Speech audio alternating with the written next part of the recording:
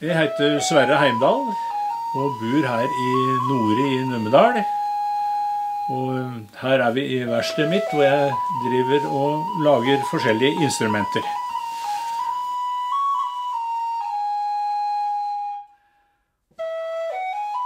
Da jeg kom hit til Numedal i 77, så ble det fort til at jeg prøvde meg på, på hardingfele først, da. Og så ble det sjøfløyte, og litt seinere denne kraviklyra. Det var en som nevnte den kraviklyra for meg en gang, og jeg tenkte ja vel, har vi noe så særskilt her? Ja. Og så fikk jeg anledning til å studere den på nært hold. Jeg fikk komme inn på Folkemuseet i Oslo og satt et par timer med originalen. Det er der den er. Og fikk tatt mål og gjorde opptegnelser av denne lyra. Ja, slik ser altså ei Kravik-lyre ut. Det er et en såkalt rundlyre. Det ser vi av formen her. Og det er altså da to armer og et åk som kalles her oppe. Og her er det da uh, strengepinnene, stillepinnene. Og så går det strenger da over en stol som står på lokket og fast i strengefestet her nede. Denne uh, her, den uh, har jeg med to høl, men i seinere åra har jeg gått over til å lage med ett høl bare. Og klangen er om lag slik.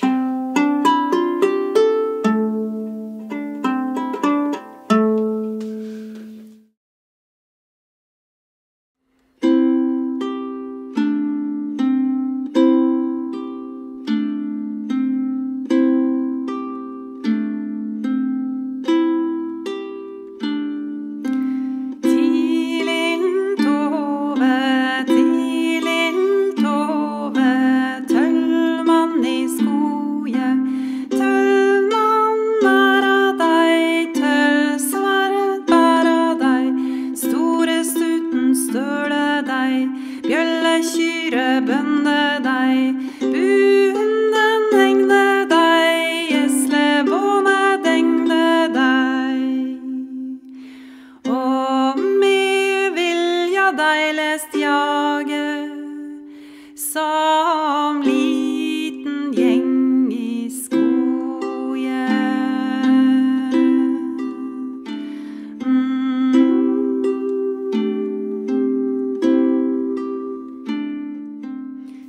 Kraviklyra er helt spesiell uh, i europeisk sammenheng, faktisk.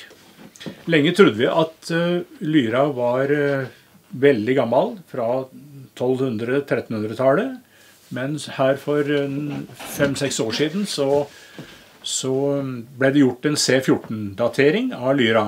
Og da viste seg at den furua som den var lagd av, den blei hogd ned om lag i år 1600. Og da gikk altså kraviklyra fra å være kanskje landets eldste strengeinstrument til å bli Europas yngste lyre. Det er veldig spesielt. Så det vakte en viss oppsikt i, i disse miljøene der som driver med instrumentforskning. Når jeg begynner med å bygge lyrer, så er det hjelp å, å få tak i store og gode emner. Dette er bjørk, limt sammen av to deler. Originalen er egentlig bare ett stykke furu. Men jeg syns det er veldig greit. Det er vanskelig å få tak i så store, gode emner òg, så det er litt greiere å ha to.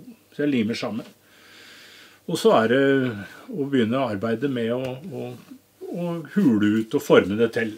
Og Det første jeg gjør når jeg uh, har dette store emnet, det er å hente den malen som jeg har lagd på grunnlag av originalen. Som jeg fikk da gjort på Folkemuseet. Og så er det å legge den på og tegne rundt. Og begynne med arbeidet med uthuling innvendig. På originalen så er det ikke noe lokk, så vi veit ikke hva slags materiale som har vært i lokket, og heller ikke om det har vært spesielle lydhull eller utforming.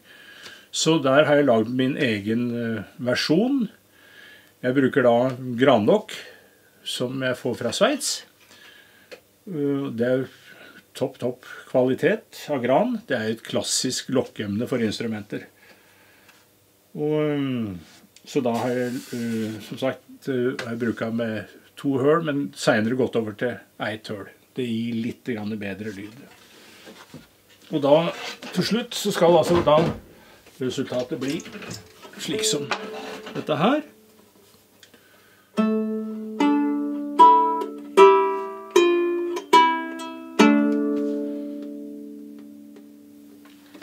Noen, Dette er en mørk utgave som jeg har lagd flest av. Men jeg har også lagd noen, noen uh, som er litt mer forseggjort med dekorasjoner.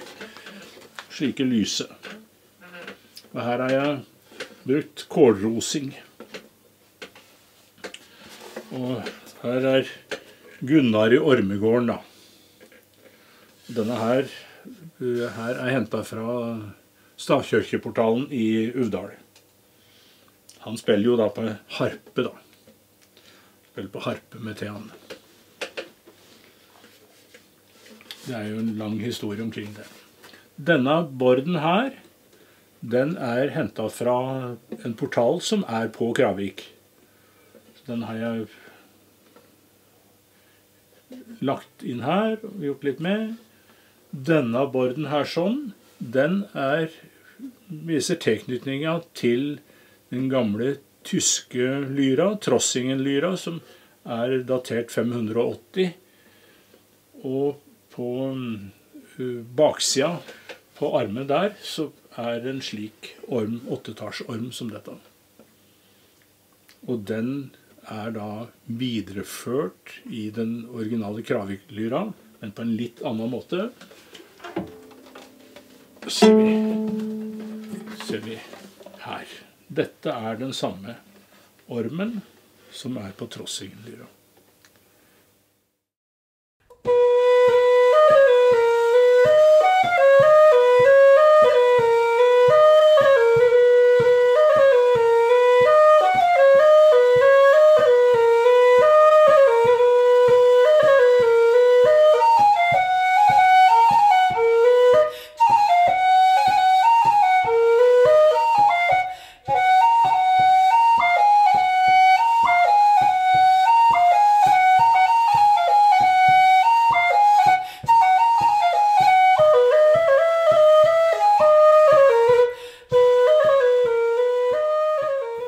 Sjøfløyta begynte jeg med eh, dagen etter at Per Midtstigen og Steinar Ofsdal eh, fikk Spellemannsprisen for den, den LP-en som het Sjøfløyta.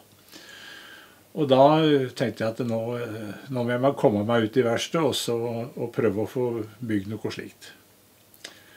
Og eh, mange forsøk seinere så fikk jeg jo endelig lyd igjen, da. Det var vanskelig.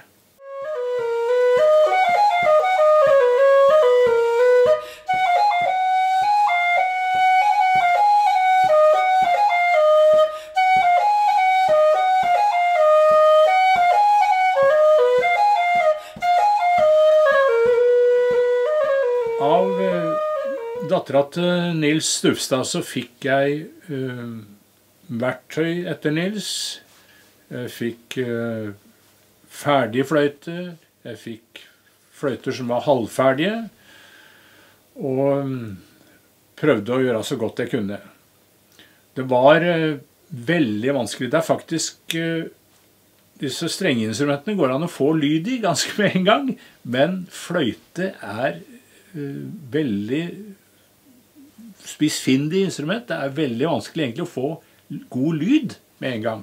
Det er så på tiendels millimeter med, eh, med luftkanalen og labiet. Men eh, nå har jeg lagd noen hundre, da, så nå kan jeg komme meg rett på og få lyd med en gang. Så det har vært veldig ålreit. Dette her er eh, slik som Nils Stufstad lagde deg.